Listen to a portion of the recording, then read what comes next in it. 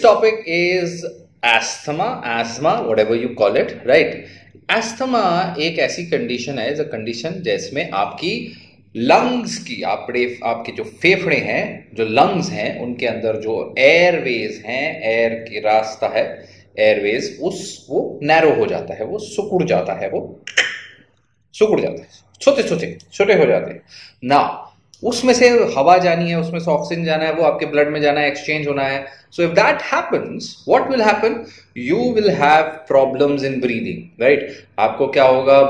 Breathing difficulty होगी, आपको खांसी आ सकती है, आपको ब्रीदिंग में आवाज़ आ सकती है सीटी जैसी। जैसे ऐसे सीटी में आवाज़ आ सकती है, और that is called wheezing wheezing आ सकती है, और आपकी ब्रीदिंग छोटी छोटी हो सकती है जल्दी जल्दी तेज हो सकती है शॉर्टनेस ऑफ़ ब्रेथ हो सकता है। सेम थिंग हैपन्स जब आप किसी डस्टी इन्वायरमेंट में धूल मिट्टी में जाते हैं। कोई भी जाएगा, जिसको अस्थमा नहीं भी है, बहुत ज़्यादा धूल मिट्टी है, बहुत ज़्यादा डस्ट है तो सबको ये चीज़ होगी ब्रोंको कंस्ट्रिक्शन होगा, यानी कि एयरवेज कंस्ट्रिक्ट हो जाएँगी पतली पतली हो जाएँगी, ताकि बहुत ज़्यादा धूल मिट्टी ना चले जाए। वो प्रोटेक्टिव मेथड है, वो आपके एक बॉडी का रिफ्लेक्स मैकेनिज्म है, ठीक है? जैसे आग आग गर्म लगेगा तो हाथ खींच लोगे, वैसे ही कुछ भी डस्टी जाएगा, कुछ भी धूल मिट्टी जाएगा, कुछ एलर्जिक सब्सटेंस आपके सांस में जाएगा, सांस की नली में तो इट विल कॉन्ट्रैक्ट सो कुछ लोगों में ये बहुत छोटे लेवल पे होता है नॉर्मल होता है, बहुत हैवी धूल मिट्टी हो तो होगा, जैसे नॉर्मल लोगों में। कुछ लोगों में थोड़ा सा ज़्यादा सेंसिटिव होता है, एकदम से हो जाए किसी चीज़ में, और कुछ लोगों में बहुत ज़्यादा मेजर सेंसिटिव होता है। हर चीज़ से ब्रोंकोस्पाजम हो रहा है, थोड़ा सा कुछ हुआ नहीं कि ब्रोंकोस्पाजम हो रहा है ब्रो सांस की नली से रही तो this is the problem nothing else asthma is this over sensitive airways over sensitive airways हैं। इसके वजह से आपकी डेली लाइफ में आपको मुश्किल होती है, दिक्कत होती है। आप कहीं भी जाओगे, कुछ भी दिक्कत वाली होगी दिक्कत, आपको होगी दिक्कत। आपको हो जाएगी प्रॉब्लम राइट तो इसको हंड्रेड परसेंट क्योर नहीं किया जा सकता। सेंसिटिव स्किन को जिस तरह से नॉर्मल स्किन में बदला नहीं जा पाएगा, आपको जीने का तरीका सीखना होगा, वैसे ही अस्थमा के साथ आपको जीने का तरीका मैनेज करने का तरीका सीखना होगा कि आपके केस में आपके ट्रिगर कौन कौन से है, उस पर्टिकुलर ट्रिगर्स को आप कैसे मैनेज करेंगे और उनके साथ कैसे जिएँगे, ये सबको सीख के ही आप आगे बढ़ पाएँगे। एस्थमा के जो सिम्टम है, वो क्या होंगे? ऑब्वियसली जब आपकी सांस की नली ही, आपकी सांस की नली आपके ब्रोंक्यूल्स आपके एयरवेज कॉन्स्ट्रिक्ट कर रहे हैं राइट और जब भी ऐसा होगा, एक तरीके से उसको अटैक बोलते हैं एस्थमा अटैक सांस की नली बंद. मान लो किसी ने मुँह पे, नाक पे वो रख दिया, तकिया रख दिया हवा ही नहीं आ रही, क्या बोलते हैं? एयर सांस ही नहीं आ रही. So what will happen you will have shortness of breath छाती में भारीपन, आपको छाती में दर्द भी हो सकता है चेस्ट पेन आपको रात में अगर ऐसी अस्थमा का अटैक होता है तो नींद नहीं आएगी माइनर अटैक हो तो भी ऐसी होगा, खांसी होगी वीजिंग होगी, ये सब बता दिया हमने। सीटी जैसे साउंड होगी, ये भी बता दिया हमने। सीटी जैसी साउंड ज़्यादातर एक्सहेल करने में, हवा बाहर निकलती है ना ऐसे एक्सहेल करने में आती है। ये कॉमन साइन है, ज़्यादातर बच्चों में भी ऐसा कई आराम से हो जाता है, आवाज़ आती है ब्रीदिंग की, सांस लेने की आवाज़ आती है, ऐसे लोग कहते हैं। खांसी हो सकती है खांसी और वीजिंग दोनों हो रही है तो ये भी होता है कई बार अगर ये वायरल फ़ी आपको इन्फेक्शन हो जाए मान लो अस्थमा के ऊपर तो डबल प्रॉब्लम डबल प्रॉब्लम हो सकता है क्योंकि उस केस में फिर आपके ये जो आ, वो ब्रोंकोस्पाज्म खांसी और उसके इश्यूज़ डबल बढ़ जाएँगे। सो so, जब आप डॉक्टर के पास आते हो तो हम क्या देखते हैं? आपका जो साइंस देखते हैं कि भाई हाँ क्या ये अस्थमा है या क्या ये इन्फेक्शन है? तो साइंस एंड सिम्टम्स में रेगुलरली हो रहा है। इन्फेक्शन रेगुलर नहीं होगा। अगर रेगुलर हो रहा है, हर बार धूल मिट्टी से, हर हर मौसम चेंज में हो रहा है, हर इसमें हो रहा है सो ऑब्वियसली एलर्जिक कंपोनेंट है राइट अगर एक आधी बार हुआ है, अभी हुआ है, पहले कभी नहीं हुआ it might be infection right so हमें क्या देखना है कि डिफिकल्टी ऑफ़ ब्रीदिंग जो है, वो कितना ज़्यादा हो रहा है राइट right? हम उसमें आपका हेल्थ चेकअप पे भी देखते हैं कि जो आपका पीक फ्लो मीटर है पल्मोनरी फ़ंक्शन टेस्ट उससे थोड़ा आइडिया मिलता है कि आपको कितना है कितना नहीं है अस्थमा कितना मेजर प्रॉब्लम है। और आपको आ, कई बार इनहेलर की हिस्ट्री होती है कि आप इनहेलर लेते हो तो आराम होता है। Inhaler quick relief bronchodilator inhaler. Bronchodilator होता है इनहेलर में, और दो तीन दवाइयाँ होती हैं, वो बताएँगे हम किस प्रकार के होती हैं। लेकिन कुछ लोगों को कुछ अलग प्रकार का भी अस्थमा होता है, जैसे एक एक्सरसाइज इंड्यूस्ड एस्थमा भी होता है। एक्सरसाइज इंड्यूस्ड एस्थमा मतलब एक्सरसाइज करने पर आपको दिक्कत होनी शुरू हो जाती है। That may be because of जब हवा ज़्यादा ठंडी, ज़्यादा ड्राई हो तो भी ज़्यादा बढ़ जाता है। ऑक्यूपेशनल अस्थमा भी होता है, जैसे वर्क प्लेस में आपके केमिकल फूम्स हैं गैसेस हैं डस्ट हैं तो उस एरिया में गए कि नहीं गए तो ठीक राइट फिर एलर्जिक अस्थमा होता है। एलर्जी इंड्यूस्ड मीनिंग कि कोई एलर्जिक सब्सटेंस है जैसे कि कोई स्पोर्स हैं अब गर्मी में स्पोर्स ज़्यादा निकलते हैं हे फीवर जैसे कहते हैं और पोलन ग्रेन ज़्यादा निकलते हैं राइट किसी को कॉकरोच वेस्ट से किसी को डस्ट से किसी को घर की डस्ट से पार्टिकल्स से किसी को आ, जो आपके पेट्स हैं घर में उनके डेंगर से पेट डेंगर से पेट के ऊपर जो थोड़े बहुत बाल वाल होते हैं यहाँ उनसे किसी को कई चीज़ों से एलर्जिक हो सकती है। एलर्जी की वजह से एस्थमिक अटैक हो सकता है। सो so, जो बहुत इंपॉर्टेंट है आपको जानना वो ये है कि अगर एस्थमा का आपको अटैक आ रहा है तो आप डॉक्टर के पास कब जाएँ राइट आपका ऑब्वियसली अगर ब्रीदिंग प्रॉब्लम बढ़ता जा रहा है विजिंग हो रहा है और इनहेलर लेने के बाद भी इंप्रूवमेंट नहीं आ रहा जो आपको डॉक्टर ने दिया तो तुरंत हॉस्पिटल दौड़ना चाहिए जाना चाहिए। अगर थोड़ी सी भी मिनिमल फ़िज़िकल एक्टिविटी करने पर ही आपको दिक्कत हो रही है तो तुरंत हॉस्पिटल जाना चाहिए राइट और अगर आपको लगता है, आपको अस्थमा है, आपको लगता है कि आप मॉनिटर करना चाहते हो तो भी इट्स इंपॉर्टेंट कि आप जाएँ।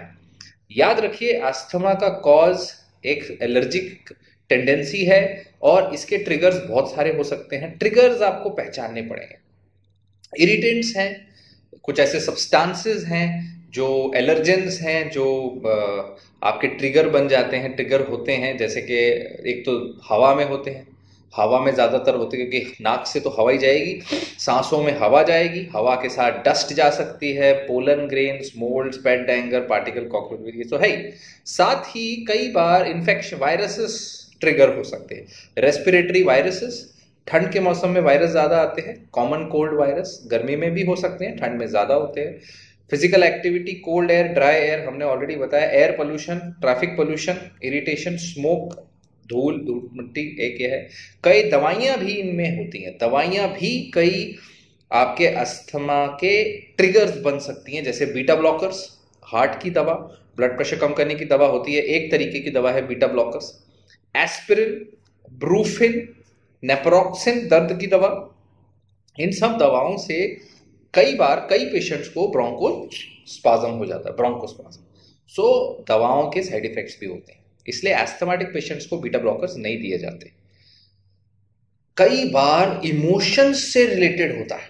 स्ट्रॉन्ग इमोशन बहुत ज़ोर से रोना आया और बहुत ज़ोर से सांस ब्रोंकोस्पाज्म स्ट्रॉन्ग इमोशन या stress lot of stress bronchospasm so stress and emotions are also related then कुछ तरीके के खाने पीने की चीज़ें भी इसमें ट्रिगर बन जाती हैं। जैसे कोई किसी ने किसी को आ, किसी प्रकार के खाने पीने से किसी को किसी खाने पीने से एलर्जी पीनट एलर्जी किसी को नॉन वेज से एलर्जी किसी को ड्राइड फ्रूट से एलर्जी किसी को प्रोसेस्ड फ़ूड से एलर्जी है बियर से वाइन से दारू से एलर्जी है ठंडी से एलर्जी है ठंडा खा लिया खट्टा खा लिया so all these things can lead to problems in various people you आपको अपने ट्रिगर ढूँढने पड़ेंगे राइट right? और एक चीज़ है जो आपका कर सकती है trigger GERD gastro oesophageal reflux disease reflux reflux reflux होता है रिफ्लक्स होता है so that can also lead to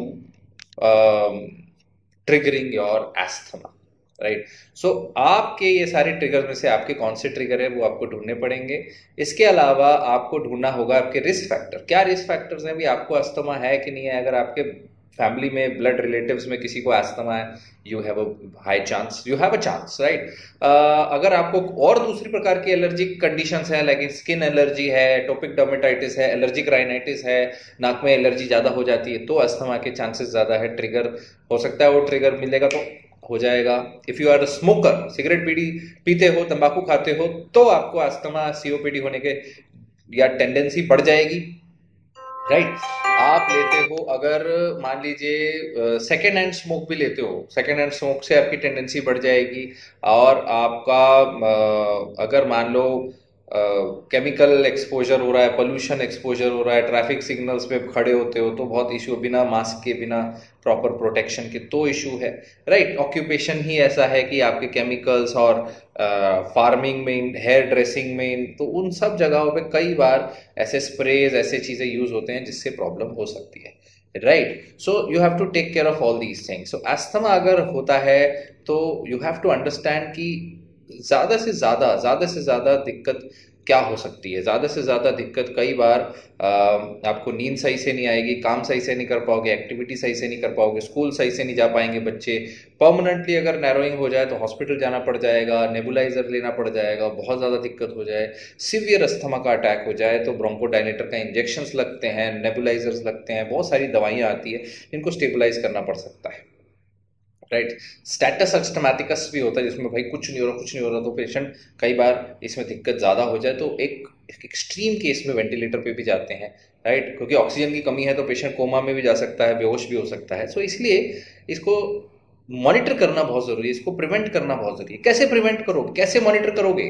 prevention का बहुत इंपॉर्टेंट है डॉक्टर के साथ काम करना। आप अपने डॉक्टर के साथ मिलके समझो आपके केस में इन सारी बातों को क्या क्या प्रॉब्लम्स होती हैं? आपका एस्थमा एक्शन प्लान बनाओ। राइट आपका बुक बनाओ, जिसमें आप ट्रिगर लिखोगे ट्रिगर को ग्रेड करोगे ज़ीरो टू टेन कौन सा ट्रिगर कितने परसेंट काम कर रहा है, कितने ज़्यादा सिवियर है, कितना मेरे को उससे अवॉइड होना है, कहाँ कहाँ से आ रहा है you have to play a plan plan के बगैर काम नहीं होगा एस्थमा प्लान बनाना पड़ेगा.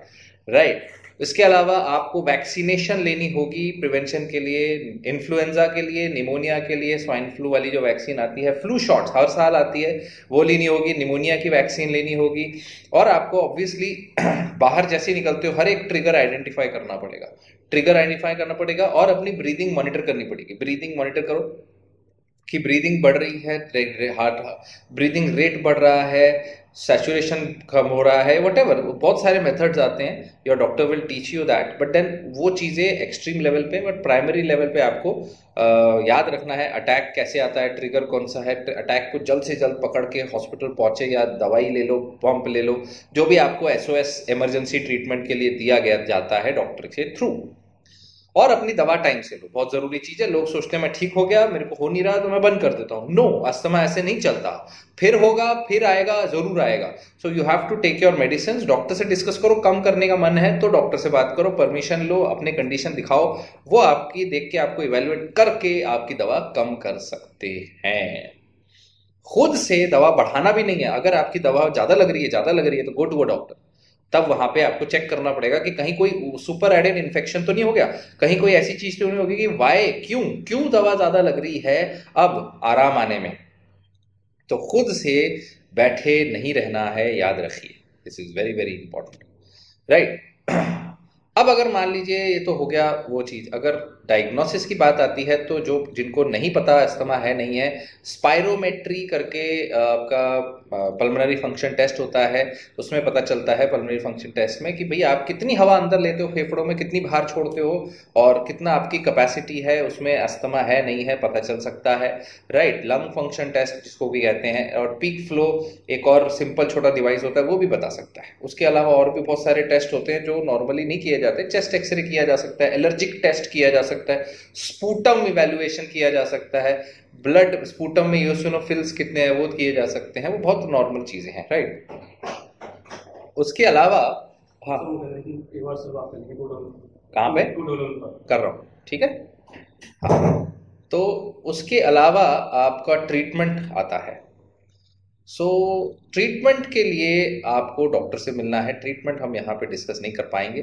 क्या क्या दवाएँ यूज़ होती हैं ये होती हैं इतनी जानकारी आपके लिए बहुत होनी चाहिए। और आपके सवाल लेते हैं आप अपने सवाल कमेंट सेक्शन में लिखिए अब और we will talk about it आपके सवालों के जवाब देने की कोशिश करेंगे। ठीक?